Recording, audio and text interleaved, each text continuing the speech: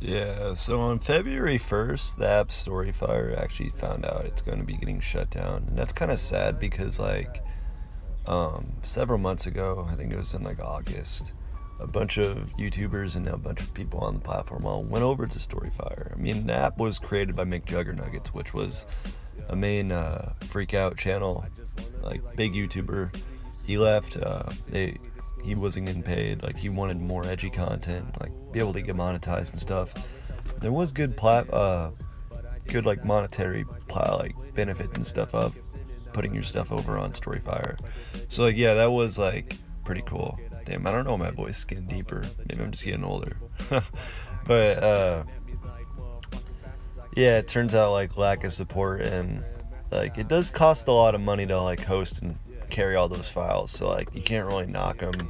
And there wasn't really a lot of people like actually on the site. Like I mean, I got bored of the site after probably two three weeks. I know they don't allow everybody to like upload, which is obviously for like money purposes. It's not affordable with like the lack of investments and stuff. But I do write a lot. Like I write on my Inkitt page and shit.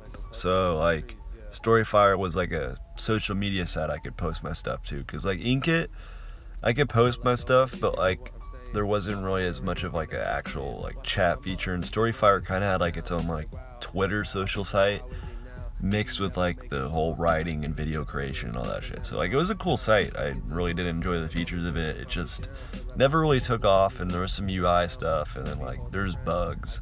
Like I remember one day, like a, I think it was a month or two ago, a glitch can't happened on the site, and like people were able to tip like unlimited blaze. So like some people ended up tipping like two million, three million blaze, like all for like nothing. Like it was some stupid shit. So like it has had its issues and shit, but like I don't know.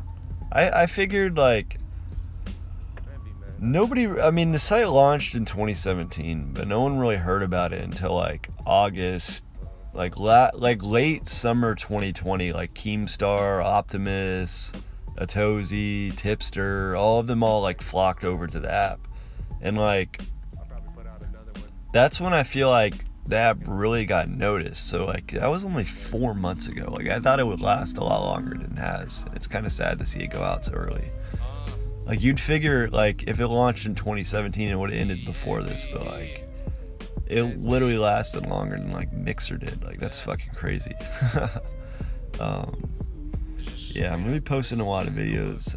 I haven't really had like I've been working a lot at my day job, so like I haven't really had all the free time to like record and edit and like talk about stuff. But there has been some stuff coming out that I've been wanting to talk about. Um, not everything's gonna be commentary like drama wise. It's I have some like personal or like life experience type stuff I want to talk about. So yeah, anyways, guys, hope you guys enjoyed the video. Favorite Florida boy, I'm out. Rest in peace, Storyfire.